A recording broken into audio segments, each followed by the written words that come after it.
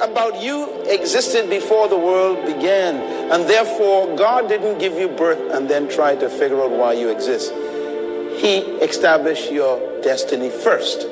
And then he gave you birth. That means then the secret about you cannot be discerned by human intelligence or by an IQ test.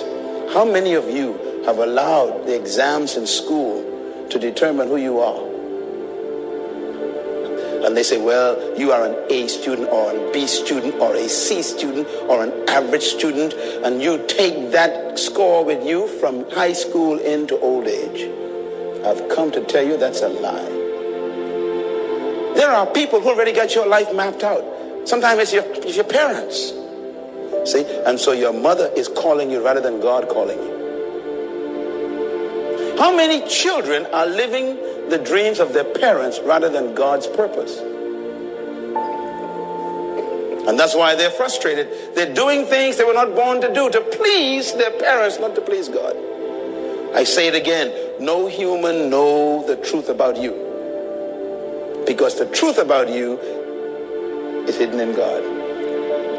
When I studied the Bible, every single human, everyone, not, not, not a one was different. Every single human that God met, they just believed him first. Every one of them. Abraham, yes, Lord. You are a father of many children. Abraham was barren.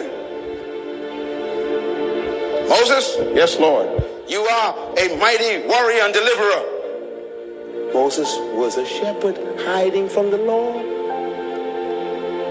David, you are a king. This kid was a shepherd behind the rocks.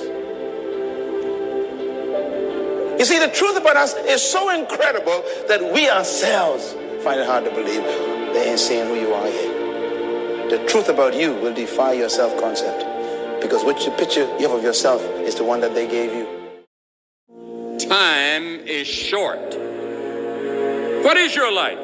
It's even a vapor that appeareth for a little time and then vanisheth away.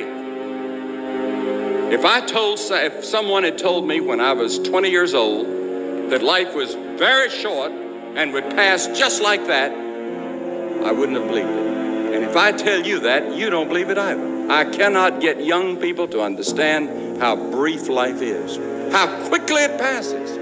It seems like yesterday I was in school.